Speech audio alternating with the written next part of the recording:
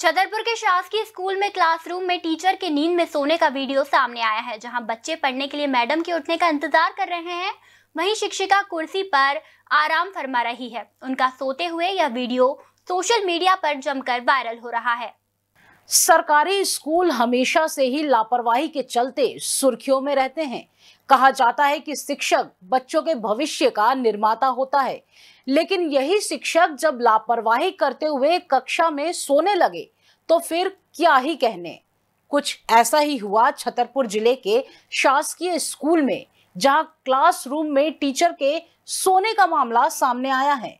प्राथमिक शाला में एक शिक्षिका का कुर्सी पर बैठकर सोने का वीडियो सोशल मीडिया पर वायरल हो रहा है।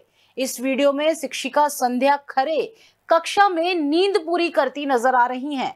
वहीं बच्चे पढ़ने के लिए मैडम के उठने का इंतज़ार कर रहे हैं। आपको बता दें कि यह कोई पहला मामला नहीं है।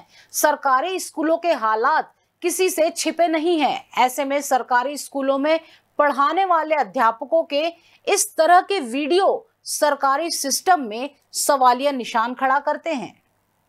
Rabindranath Tagore university Bhopal N I R F rank for five consecutive years